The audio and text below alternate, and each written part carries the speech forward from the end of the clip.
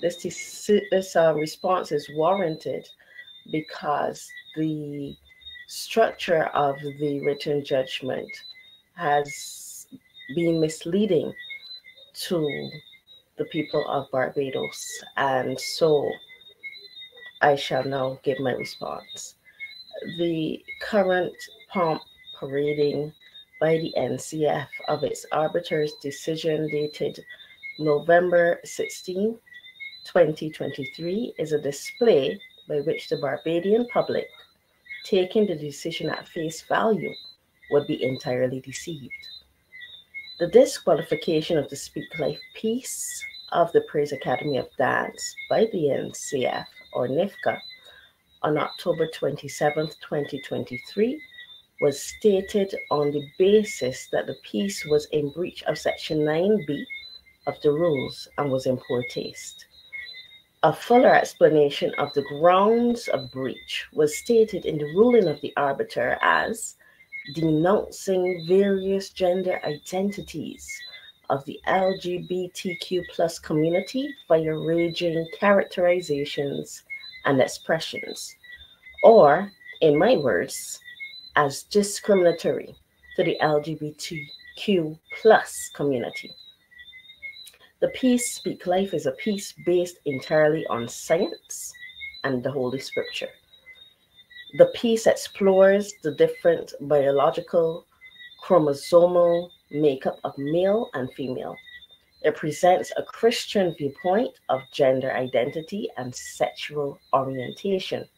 And on this basis, declares from a Christian worldview that there are two genders only.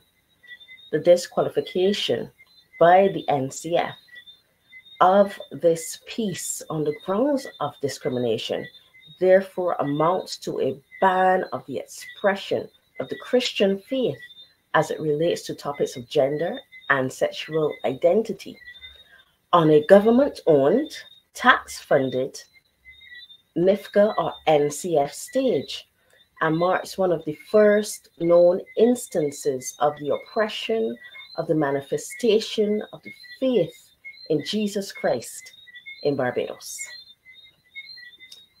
I just want us to really take this in the importance of what has happened. It was the argument of the Praise Academy of Dance before the arbiter that the decision of the NIFCA judging panel was illegal and unconstitutional the arbiter rightly held that he has no jurisdiction to rule on the constitutionality of the decision by the NIFCA panel. In fact, he went further to state that he would not be saying that it was discriminatory or it wasn't discriminatory. He would not be saying that it was constitutional or it was unconstitutional. That is for the court to determine. Those were the words of the arbiter. Unfortunately, Mr. Nichols did not leave the matter there.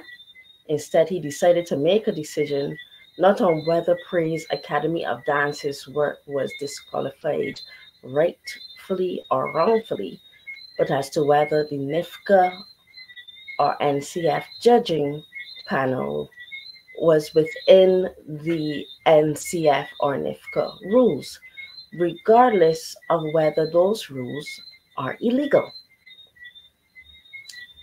In taking this route, the arbitration became an exercise in futility.